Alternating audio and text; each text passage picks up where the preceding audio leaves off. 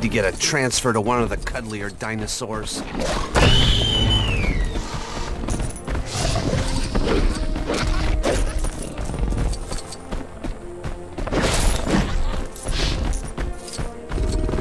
Hey, I keep clear of any Dilophosauruses you see.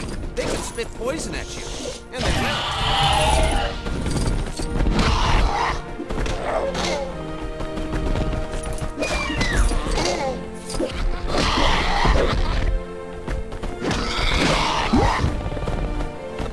Really sticky, too. I got my feet glued together for a whole day last week.